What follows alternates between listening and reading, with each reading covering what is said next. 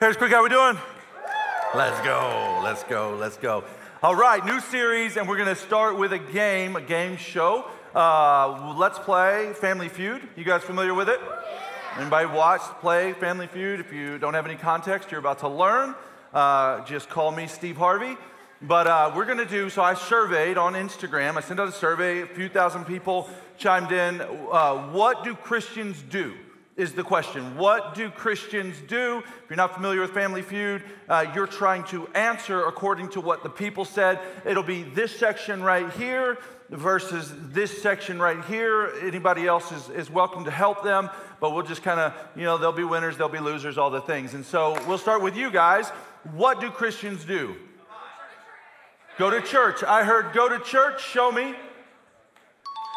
Go to church. It's on the board. I'm gonna go. I'm gonna tell you up front. Abide's not up there, so don't even guess that. It's the series title. All right, here we go.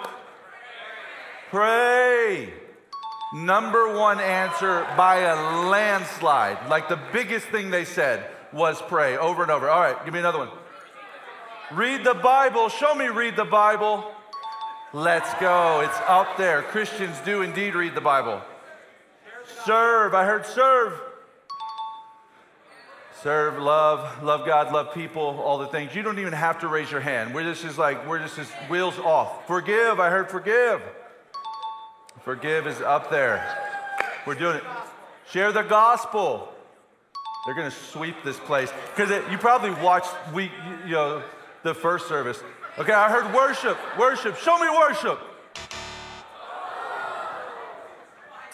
That's what the people said. All right, what else?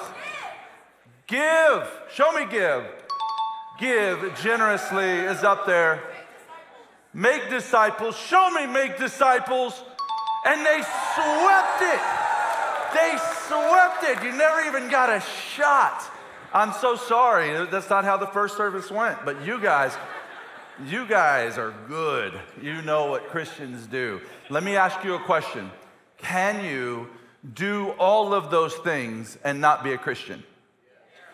You absolutely can do all of those things and not be a Christian, which is ironic. Something to give thought to that there are people who are Christians, or, or at least they embrace the title Christians, they go to church they, they, and they do all of those things, but they're not saved. And then you have people who are Christians or call themselves Christians and they don't do any of those things. And so there's this weird contrast. So, like, what is the difference? And what I want to make it a case for you in the coming weeks as we kick off this series is it is indeed the word abide. That's the missing puzzle piece. Like, that's the thing that has to go in there. You cannot abide and not be a Christian. Like, this is the game changer. This is the, the word that you put it in place, it changes all of the other outputs.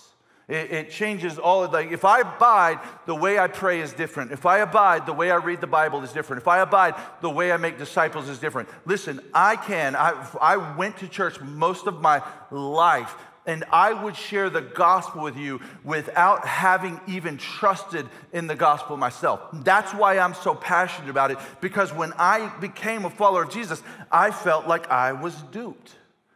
And I'm like, man, I don't, I, I, was in church my whole life. I was doing all the church things. I owned multiple Bibles. But I wasn't abiding with Jesus. In fact, when I heard relationship with Jesus, I thought that's just this thing that we all say.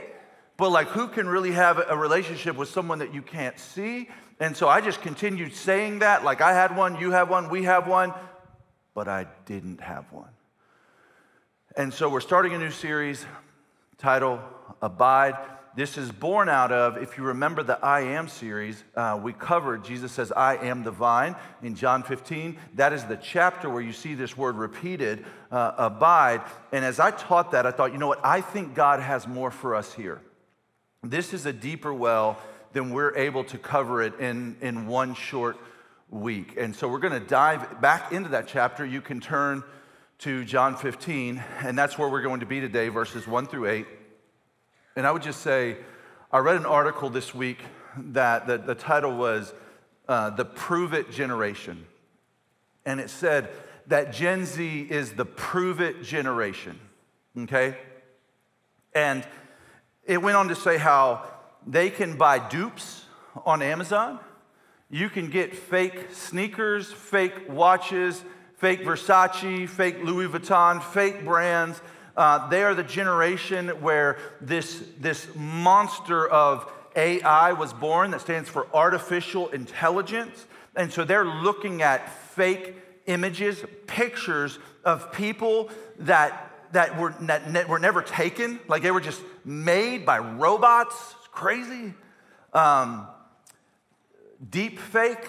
It's like, hey, you can watch a video of somebody doing something that that person never did fake news, fake articles, fake ideas, uh, you know, people, the media, other things propagating ideas because they get clicks and likes, but they're, they're stories that are told that are untrue. And so these, these guys, like I'll tell you an interesting aside. When someone asks me about flat earth, I answer questions on Fridays, and I just get an overwhelming number of questions about flat earth okay? Like, do you believe the earth is flat? And I'm like, I thought I was being trolled. But it turns out there are a group of reasonable people who passionately believe the earth is flat, and a whole nother group that, that believe we never landed on the moon. And, and in fact, they would just say, I don't trust that source. I'm out. Like whatever that, like that, I don't trust the source. So I don't trust the, the, you know, the information that I'm getting from the source. They are the prove it generation. And when it comes to Christianity, it's like, I'm a Christian. Their, their mindset is prove it. And this is why I believe this is so important for us here. I want a distinctive of this church moving into 2024 and, and forward. I want a distinctive of this church to be that we train and equip you to be and make disciples, especially in the home. That you would understand that we give you all the handholds, the, the resources, the, the programs, and the processes that you can leave this place and you know you are well equipped. We are world class at teaching you how to make disciples in the home. Because what I think we are good at here in the Bible Belt, in Texas, in churches in Texas, is, is teaching our children how to be really good, upstanding citizens, contributors to society who go to church. And that is very different than the call of a disciple. It's so important that we understand this. I think for so many of us, and, and, in fact, sometimes the people that are elevated, like, oh, they're a good Christian. And what they're really trying to say is they're a person who makes good choices and goes to church. And that Jesus didn't, Jesus didn't say, hey, do good and go to church. He said, come and die. Like, die to the things that the world is calling you to. And so the enemy of having this is thinking you have it when you're this. And I'm telling you, as I've said many times, the chasm between a churchgoer and a Christ follower is really large. Those are two very different things. And that scripture where Jesus says, Depart from me, I never know you, knew you, is like, what? And I don't know if you've ever studied it, but the follow up on that is, but I led a ministry. but, but I did ministry in your name. Like I told people about Jesus. And he's like, I know, but I didn't know you. So there's people that are like, I know him, and they don't tell people about Jesus. And then there's people who tell people about Jesus, and he's saying, they don't really know me. And you can't just turn the page and go on with your life as though that's no big deal. We got to say, what do we do with that? What does it mean? And, and, I'm telling you, I think the solution or the answer to the question is abide and here is the challenge that I'm up against up front. The application of this message is really like a, a, a mental assent, an intellectual assent, if you will. It's not to leave here and go do something because we've already established you can do all the things with a wrong heart or a wrong understanding, a wrong why, a wrong motive.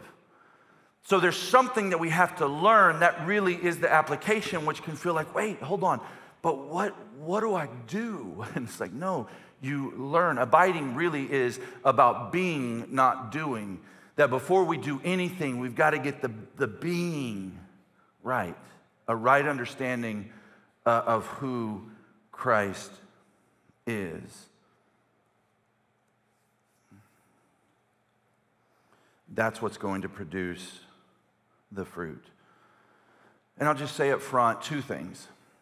You're going to hear things that are going to challenge your thinking and maybe even contradict some of the things that you've heard before in, in your journey of faith. And that's okay. You can ask questions. I, am never afraid of questions. I, I, welcome the conversations afterwards, always. Somebody's like, wait, what did you mean by this? Or hey, I didn't quite understand this, or I missed this point. Those are great questions because they tell me that people come here with the heart to learn, so that's a good thing. I also want to say to you, it's a series. So today will not be a comprehensive lesson on abiding, it's just the introduction.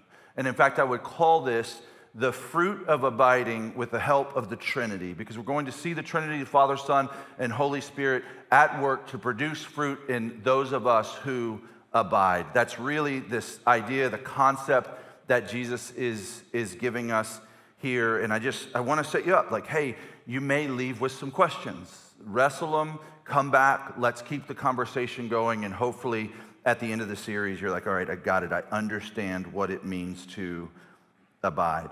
Uh, today, we're going to look at the work of the Father, the work of the Son, and the work of the Holy Spirit in producing the fruit of abiding. That's the outline of the message. Uh, this is very simple in theory, but takes a lifetime to perfect. And so it's easy to read the words on the page, but it really is something that you will do for the rest of your life as you're trying to understand what does this mean to press deeper in to Jesus. Let's dive in. I'll just read the whole scripture. I'll be in verses 1 through 8. These are the words of Jesus.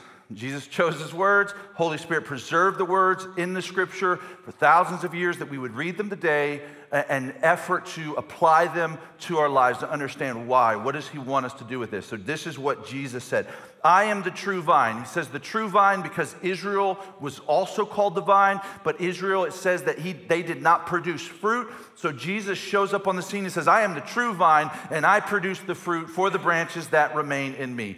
I am the true vine, and my Father is the gardener. He cuts off every branch in me that bears no fruit while every branch that does bear fruit, he prunes so that it will be even more fruitful. You are already clean because of the word I have spoken to you. Remain in me as I also remain in you. No branch can bear fruit by itself, it must remain in the vine. Neither can you bear fruit unless you remain in me. That word, remain in me, it's the Greek word meno. It's the word that we, in some versions of the Bible, translate abide or interpret abide. Um, abide, remain in me, same word, same meaning. Uh, this word is also shows up in the scripture to mean um, continue in, endure through, remain. Uh, NIV here has it as remain. Yours might have abide. Dwell is another translation. Verse 5 I am the vine, you are the branches. If you remain in me and I in you, you will bear much fruit. Apart from me, you can do nothing. That's worth underlining. If you do not remain in me, you are like a branch that is thrown away and withers. Such branches are picked up, thrown into the fire, and burned. If you remain in me and my words remain in you, ask whatever you wish, and it will be done for you. This is to my Father's glory that you bear much fruit, showing yourselves to be my disciples. In this illustration, and I want you to know, as someone who uses illustrations every week, has to come up with them every week, there are no perfect illustrations. And so there are something that the illustrations illustrate or teach, and then you can over index on the illustrations to, to kind of go outside. But wait, you said well, hold on, thrown into the fire. What is that? You know, and so we need to stay in the fairway of the illustration to say, all right, what is he trying to tell us with this illustration, right? And he presents to us different parts. The Father, who is the gardener, the Son, who is the vine, and there's, there's the branches. Who are the branches? Who are the branches? Us. We're the branches. And then fruit is produced on the branches if they remain on the vine. But the first interpretive challenge that we're faced with is this reality that the Father prunes the branches. What does that mean? And so that's my first point is the Father prunes fruitful branches. Before we get into the pruning, we have to deal with the real interpretive challenge is that some of the branches are removed altogether. And so, which branches are removed? There's two verses that address this two, verses 2 and verse 6. 2 says, He cuts off every branch in me that bears no fruit. So, a branch that doesn't bear fruit is cut off, not pruned, but cut off altogether. And then, and then he says in verse 6 If you do not remain in me, you are like a branch that is thrown away and withers. Such branches are picked up and thrown into fire and burned. And so, what does he cut off? It's two things. And you can write this in the margin of your Bible because there's, when you study this, you see, oh, there's really two branches that are removed. The first one is the one that bears no fruit. They appear to be in Christ or in church or fellowshipping, but there's no fruit that comes from their lives. They're, they're not sharing the gospel, they're not making disciples. They're not studying the word. They're not praying, right? They're not, they're, there's no fruit coming from them. And the other one is branches that don't remain in Christ. Um, you're like a branch that is thrown away and withers if you do not remain in me. Um, this one is tricky because it may produce fruit by their own effort. Like maybe they do read the Bible, maybe they do share the gospel, maybe they do go to church, maybe they do pray, but, they, but they're not, they're doing so as, eh, for the purpose of showing up to life group and having something to say. Not out of their remaining in Jesus. Now, here's a question I want to present to you that I think is worth asking. Do they know they're pretending? And I believe the answer to that question, without a doubt, is no. They are not aware. That's why you have this argument with Jesus. He's like, they're like, wait, hold on, but I did this in your name. And he's like, depart from me, I never knew you. So I grew up thinking that, that there were people that they would come to church and they just did it because they thought it was good for business, but they kind of, you know, they, they get in the car on the way home and they're like, what a load of garbage, you know? Or, or there's pastors that kind of preach and, and they're like, yeah, if you just give me money, then I will. And they get in the back of their office and they're counting their money like, I got them right where I want them, you know? I'm running this shell game. I don't think that is reality. Um, I think if it is, it's, I believe it's the extreme exception. That in most of the cases, these people, they're doing all the things, thinking, believing, having convinced themselves, I know Jesus, but they don't. And, you, and, it's okay to wrestle wait, why would anyone think they know Jesus but not actually know Jesus? We'll talk about it. Verse 3, if you're questioning your own salvation right about now, verse 3 is a comfortable blanket. It's like it's a parenthetical statement that Jesus says almost in, in, anticipation of us. But wait, wait, Jesus, hold on. He says, You are already clean because of the word I have spoken you, which is the gospel. Have you believed upon the gospel? Now, don't get too comfortable because I think you have to answer Do I really, literally believe this guy showed up, lived a perfect life, died, went in the tomb, and three days later showed back up, and, and he died as a payment for my sins? Do I believe that is history? Not legend, not a story we're told, not something we celebrate like Santa Claus, but, but something rooted in history that it actually happened, and my whole eternity hinges on that reality. And then he says, and some branches are pruned. And what are the qualifications of the branches that are pruned? What kind of branches are pruned? Is it the bad ones? Is it the ones that don't do what they need to be doing? The ones that sin? The one, what branches are pruned? The fruitful branches.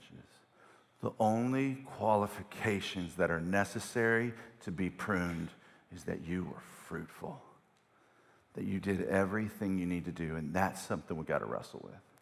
That when we do all that we're supposed to do, what is promised to us is pruning. And the pruning doesn't mean that we did something wrong, that it actually means we did something very right.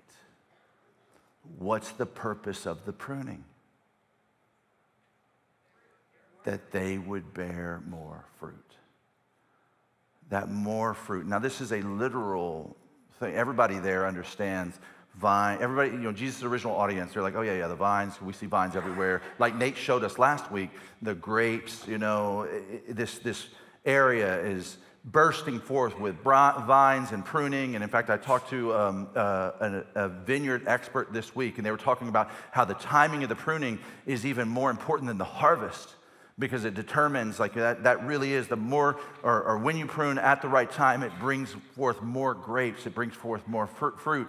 And so it's rooted in there and jesus is using this and he's saying hey this like god's timing is perfect. He knows what he's doing and the purpose and everything that he does is to produce more fruit. What is pruning? Pruning can be circumstantial hardship uh, it, it can be uh, you know, a situation you're going through. It can be a layoff, it can be loss, it can be grief, it can be a diagnosis. It's something that happened to you that you didn't do anything to bring onto your life. That's easy because of the way this is written, and this is where I think we can over index on the illustration. It's easy to, to think about, read this, and think, okay, God is sitting there and he's he's actively taking something away from me that causes me much pain, how am I not to turn my back on, on you know, a maniacal God that would do that? You have to keep in mind that it is God's first desire that there would be no loss or grief here, that there would be no suffering here. His first desire is that that wouldn't, that wouldn't be. And yet, He created us with an ability to pursue a relationship with Him or to pursue ourselves and the world. And as we pursued ourselves and the world, sin rushed in like a tsunami. Brokenness, hurt, and pain rushed in like a, a, tsunami. So, the pruning, I think, is when you go through those things, what you do with it determines the pruning that's happening in your life. For example, when someone is pruned, one of two things happen they fall in or they fall out. Okay, they're going through a pruning and they say, God, I really need you in this time. Here's what's going on. I'm moving closer to you. Can you help? How can you use this? What do you want to do with this? What are you trying to teach me in this? Or they say, God, if you're going to allow this to happen to me, then I don't want anything to do with you and I'm out. They fall in or they fall out. And if they fall in, what typically happens is a more fruitful ministry. I can think in my own life, just to give you some practical examples of this, uh, or historical examples of this. In my own life, there was a season where I went through like intense anxiety and panic attack and it was a humbling season that softened me and it grew in my heart empathy. It grew, it gave me uh, more tools to pastor people, to sit in situations. And now that, you know, there's an entire part of my ministry is to meet with people and counsel people going through anxiety and panic. And in that time, I, I, I learned therapy practices that overlapped with what the scripture teaches, and my faith grew. And it was a pruning that has produced a greater harvest. You can imagine how insufferable I'd be had I not learned empathy and, and care in that time, right? It's just hard charging, suck it up, let's go. And God humbled me. This week on the pod, on, on Becoming Something podcast, we interviewed uh, Granger Smith. Granger and his wife Amber, uh, their, their three year old River um, fell into a pool when he couldn't swim and drowned. And it's, it's a horrific story. And he, he told it on the podcast, and, and he, he talked about all that God taught them in and through this. And then he had the, the wherewithal and the wisdom to, to pause and say, wait a minute, I need to say something to you. I am speaking about this today very different than I did in the event. You know, like, like hindsight, I can see the goodness of God. In the event, it was just sad and hard and terrible and awful. And, and he said, in fact, some well meaning relative texted them, you know, some polite cliche, hey, you know, God is good and, and it was it didn't land well because there's a time for mourning and that was only a time for mourning but now they're able to take this story this pruning and, and use it and not only are they telling you know doing podcasts like ours but it's turned into a book and the story has ministered to tens and thousands of people who are going through grief themselves what is that it's a fruitful harvest they're taking this thing that happened to them, they bring it to the Father, and they say, How do you want to use this? I'm clinging to you in the midst of this. And he says, Okay, let's go. We'll use it. It's been a hard week. It's been a, it's been a challenging week. I had some friends, you know, their son fell off the back of an ATV, dead. About the same age as our son. And then my, some of my best friends gave birth to a sweet baby girl who lived for just under two hours. And you think, why would God intend for babies to be born and live for two hours? And I would tell you, He didn't. He purposed that little girl to live forever. And we lose sight of eternity so fast, so fast, that God created us to live forever with Him. And so, as we live in this broken world where there's all kinds of broken people who do very, very broken things, we have to ask constantly, Lord, what do you want to do with this? What ministry do you have for me in the midst of my suffering? And here's what I want you to know He's not in a hurry for you to get there. He's a slow and patient God. And the only reason that He would be rushing to get to that part is just because He's eager to flood your heart with the peace that He has for you when you bring Him the broken branches and the pruning.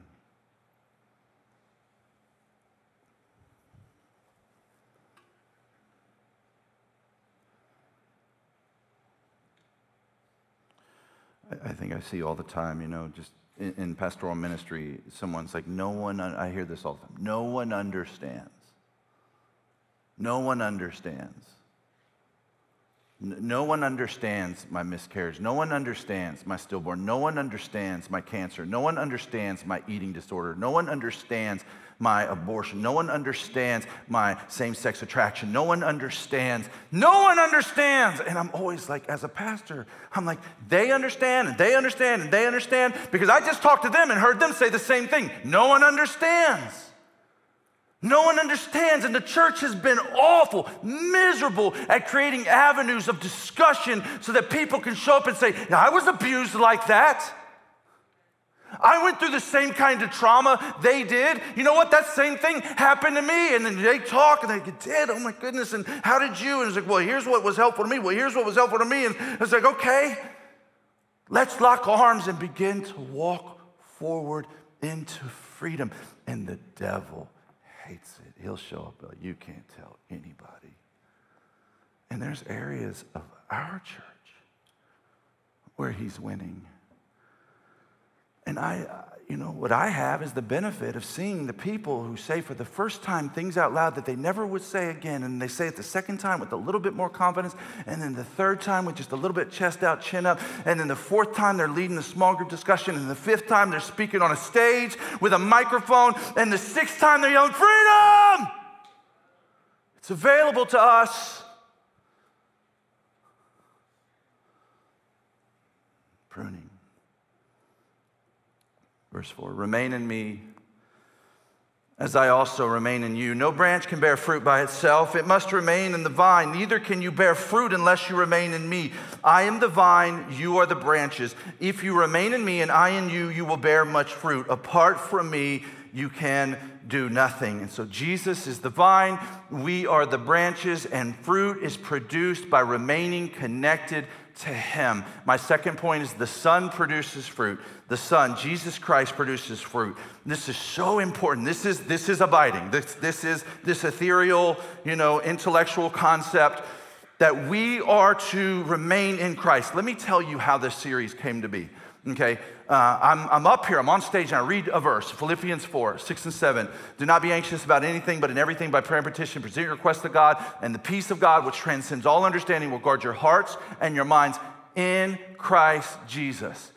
And then the next verse that I read up here on stage talking to you was 1 Thessalonians 5. And it says, Rejoice always, pray continually, give thanks in all circumstances, for this is God's will for you in Christ Jesus. And I have this kind of like, you know, I'm talking to you, but I'm thinking up here, and I'm like, wait a minute, those two verses, they end the same way, in Christ Jesus. And so I leave here and I do this phrase study. Where else does it say, in Christ Jesus? How, how often is this repeated throughout the scriptures, in Christ Jesus? And so I just, I'll show you. Watch this. Look. Well, you can just come over here. And so in Acts 24, faith in Christ Jesus. Romans 6, God and life in Christ Jesus, are in Christ Jesus, who are in Christ Jesus, glory in Christ Jesus, co workers in Christ Jesus. Uh, 1 Corinthians, you in Christ Jesus. 1 Corinthians, you are in Christ Jesus. You in Christ Jesus. You in Christ Jesus. Galatians in Christ Jesus. You are in Christ Jesus. One in Christ Jesus. Uh, Ephesians, faithful in Christ Jesus. They're in Christ Jesus. Us in Christ Jesus uh, accomplished in Christ Jesus, church in Christ Jesus, people in Christ Jesus, called me in Christ Jesus, minds in Christ Jesus, glory in Christ Jesus, Colossians, faith in Christ Jesus, which is in Christ Jesus, Thessalonians in Christ Jesus, you in Christ Jesus, we in Christ Jesus. Second Timothy, that is in Christ Jesus. First Timothy, I skipped that, that is in Christ Jesus. Everyone in Christ Jesus.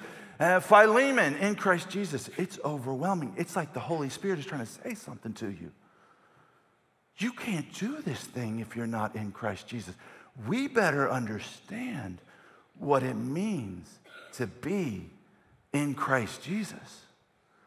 It is foundational to living as a follower of the one that we are to remain in. We can do all those things. Show me again the list, the, the other one, the family feud. We can pray and read the Bible and make disciples and give generally to forgive and love and serve and go to church and share the gospel. Do all of those things not connected. And look, we're this. Looks just like the other branches. It looks just like the other branches, but no lime is going to grow on this no line. But it looks just like those. But nothing's going to grow on it because it's not connected. So, apart from the Son, no lasting fruit is produced.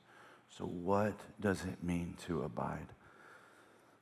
My best effort to explain this. This is the important part, the meat, okay? I was in a conversation with John Mark Comer which on your 3E, evidently, Ruthless Elimination of Hurry is the number one recommended book by Harris Creek. It's a John Mark Comer's book, if you're not aware. And in a conversation with him, I said, John, what do you think it means to abide? And I love what he said. He said, it's like being in two places at once. And I said, well, what do you mean being in two places at once? And he's like, like when you're a new mom, you hardly have time to do a Bible study or a quiet time. And there really is not a lot of quiet time when you're a new mom, you know? And, um, and he said, but what you can be doing is you can be changing diapers. And as you're changing diapers, it's as though Jesus is in the room with you. And you can be reflecting on things that he said and letting his word wash over you and purify you from within, or, or, praying over a child as you change those diapers. And so you're doing it as though Jesus is present. And as you work, right, you can go to work without Jesus, which is very different than one who remains in him and goes to work, sits in a cubicle or in an office or at a desk or whatever it is that you do behind a counter, and Jesus is with you. and, and you have this mindset constantly that Jesus is with you, that changes the way you're going to surf the internet. It changes the hashtags you're going to click on on Instagram or where you're going to navigate to on TikTok when you believe Jesus is with you. It changes everything you do if you think, okay, Jesus is with me and I'm in constant communication with him. I'm talking with him and he's present with me. And, and for some of us, that's like a new idea. When I'm telling you, according to the words of Jesus, it's foundational to everything that we believe about Him and what we do flowing out of our relationship with Him. And you know, you meet someone like John Mark or Dallas Willard or Eugene Peterson, and, and or, or just that person, if you don't know who they are, that person that just like they just get it. They're all the time following Jesus, all the time. They're just something. And you're like, what's different about you? It's abiding. It's not for the professional Christians. It's not for people who've been called to vocational ministry. It's not for the you know, college student that, that well, they're, they're the weird, or they're in the Christian sorority or Christian fraternity. No, no, no. It is for everyone. It's baseline, it's foundational. Uh, I'll give one more to try to hit home what this means. In sitcoms, there's this plot that's kind of been played out over and over. And in the plot, someone saves someone's life. And then what they do is they spend the rest of the episode trying to repay them. And I think Family Matters, I think Urkel, if that anybody, I think that happened there. Uh, saved by, if you're a kid of the 90s like me, uh, Saved by the Bell, I think, I think it was Jesse or Screech was like pushed out of the, the lockers were falling. Maybe it was an earthquake. It's a little fuzzy uh, but somebody saved somebody's life. And the rest of the episode, they're trying to repay them. Like, you saved my life. You, you guys tracking with that? Anybody know, you know what I'm talking about? You seen something like that in TV? Okay. You saved my life. And they get real clingy. They're like, no, I can't. Like, but what can I here, I just want to. I just, there, there's like gratitude overwhelming in them. It's overflowing in them. They're like, we, I don't know what to do with all this gratitude that I feel. That's abiding. I don't think we, Harris Creek, the church in America, the vast majority of us, dare I say, like live with an understanding that Jesus Christ has done exponentially more for you than any human being ever has or ever will. And so, any gratitude you would feel, it's like, what do I have in Christ Jesus? Is it, is it like a, a new car or a new phone or a billion dollars? It's so much more than anything you can imagine. To where, here's what I'm going to have the audacity to say it's like, how can I worship a God who allowed pruning? If the good that he offers you in light of the pruning is so good that you would say it was worth it. And only God can do that. And you might be like, it's not worth it. It's not worth I don't. No, no, slow down, slow down. What would make it worth it? And answer the question. You, you took away. Well, if he'd give them back to you forever, would that make it worth it? What would make it worth it? And if you answer that question, right? Because the other side is just take away. It's just loss. It's just grief. But God can give you a good that's so good that you would say it was worth it. And I'm not just talking hypothetical up here. You answer the question.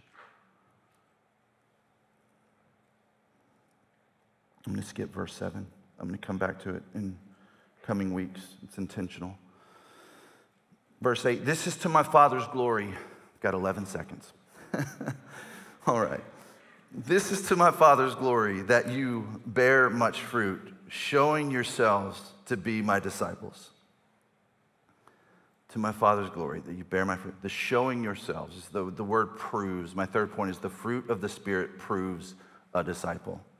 The fruit of the Spirit is, is evident of the disciple. If this feels redundant, it's because the chapter's so redundant. It's like, you remain in me, and I remain in you, and you will bear fruit, but you won't bear fruit unless you remain in me, and I remain in you. And you got to remain in me in order to do this. And remain in me, remain in me. It's, it's cyclical. It's as though God is saying there in your Bible, hey, this right here, it's super important.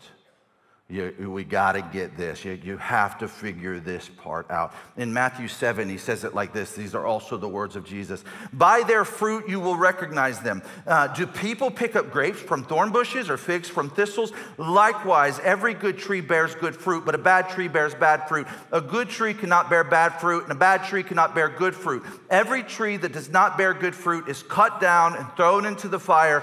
Thus, their fruit you thus by their fruit you will recognize them. And so the fruit let's see it again. What's the fruit that we talked about up front?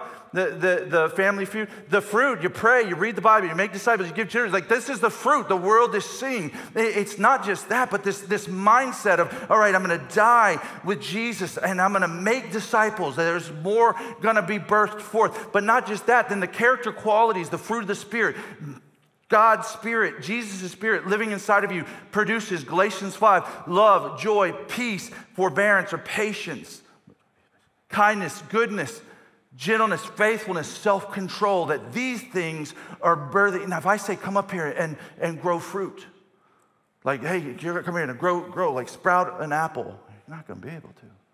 You're gonna be like, I'm not a tree. I'm like, okay, great, here's a tree. Make it grow. Make it grow a line. Make it, look, have, have this grow here. Go, go. Like, I, I can't. All I can do is put it in the environment, put it in a situation where fruit is able to grow. Right? And if I live in that environment, then fruit is going to grow. If I stay in that in, environment, it's the same with us, yielding to the Holy Spirit. To say it plainly, a disciple is not someone who simply produces fruit. A disciple is someone who abides in Jesus and fruit is produced. The difference between those two things is so important. It's so important. And, and, we get this conceptually, you get this. Like, I can do something and it doesn't make, like, I can put out a fire, right? It doesn't make me a fireman, right? I can diagnose something. Uh, you know, I can, I can look at you and say, this is medically what I think is wrong with you, and, and man, you should take two Advil. I would be out of my mind to then say, I'm a doctor. I did what doctors do, I'm a doctor. No, that's not what makes you a doctor. I, I, can, I, can, I can translate the law for you. And I say, this is the law, and this is what needs to happen, and these are consequences to the law. I'm an attorney. You know, I can say, hey, the speed limit is 60 miles an hour. If you go over the speed limit, this is what's going to happen. This is what it looks like. These are the consequences. And I walk away and I say, look, I'm a lawyer. And you'll be like, you're not a lawyer. I'm like, yeah, I am a lawyer. I just did what lawyers do. That's not what makes you a lawyer. There's something that has to be in place prior to you doing that. And that's abiding for followers of Jesus. You have to have the abiding peace right, or else you're just doing stuff. In summary, the Father prunes fruitful branches, the Son produces fruit, and the fruit of the Spirit proves the disciple. Um, what's, what's the difference between this lime and this lime?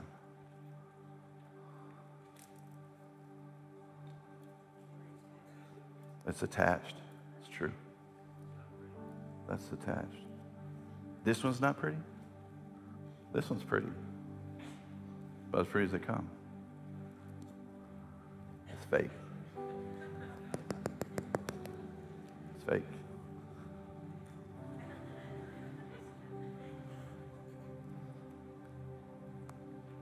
It's not real. Can you guys verify it's not real? Not real. It's, I mean, it's, it really, it is prettier than these. I mean, these kind of like got some yellow, brown spots. This one's almost perfect. Looks the part. It's, it, it's not going to have any taste.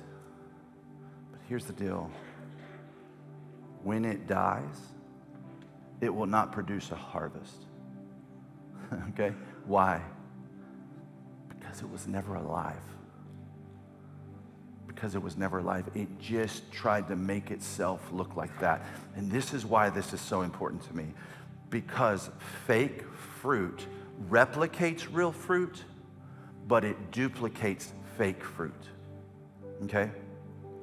It replicates real fruit, but it duplicates fake fruit. It makes more fake fruit. You can tell your children, listen, we believe there's this place called heaven, this place called hell and we believe that hell is an awful place where there's no goodness of God there. And that if people don't trust in Jesus, they're going to be there forever and ever and ever and ever and ever. And we really believe that. And you go out and you come up against people every day who are going to hell and you don't tell them how to get to heaven, your kid's going to be like, oh, this is this thing that we pretend like we believe, but we don't really believe because our actions don't follow through with what we say we really believe. We can say, hey, this world, it's not like it's all going to fade away. And what really matters is the treasures we store in eternity. And then we try to store up all of our treasures here on earth and be oh, okay, I get it. I get the game. So we say this one thing, but, and we say we believe it and we say it passionately, but we live as though we don't. And you'll make fake fruit. And the fake fruit will sit in church and get in small groups with fake fruit. Do you see how, how much this matters? That's how you get to uh, depart from me. I never knew you. You're like, yeah, but hold on. I was, I was doing all kinds of stuff in your name. And that's why it's like, man, I'm like, what are we doing? What are we doing? And you say, you say, hey, I, I'm gonna, I'm gonna teach someone to read the Bible. And what do we do when they're like, hey, I'm reading the Bible and it doesn't make sense? We go, okay, well, let me go like interpretation, observation, application, like here's some methodology. Like, hold on, that other thing has to be there first. Like, you got to have the abiding thing first, or else you're going to read the Bible. You might as well be reading the Wall Street Journal. You're going to read it so you show up to life groups saying that you read it. That's different than reading a love letter from, from a spouse who's at war who you haven't talked to in six months. You're going to hang on to every word. You see, you see the difference? It's different. And so if you're here, you're like, man, you know, it's interesting because I've been reading the Bible. I don't really enjoy it. It doesn't really make sense to me. But I'm not going to come at you with tips, tricks, and techniques. I'm going to say, hold on, you, you sure you got the abiding thing? You sure that's there? You sure you understand who Jesus is, what he's done for you? You're living with gratitude for that? You sure? Because the enemy of, of understanding that is thinking you understand that and just going through life pretending like you understand and assuming everyone else is doing the same pretending. I'm just, I'm just crazy enough to say there's some people here that literally believe this man lived a perfect life, died, and showed back up. And he's got an inheritance reserved for us forever and ever and ever and ever and ever. We're going to be with him forever and ever and ever and ever. It's crazy. Crazy. But it's true. Me pray we'd believe it. Help us believe it, God. We can't even believe it on our own.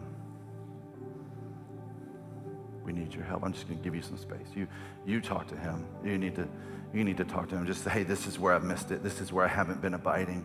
This, is this is the time, though. like, like right now, you can practice it. God, I'm going to abide right now in this room full of people for the first time. I'm going to talk to you as though you're real.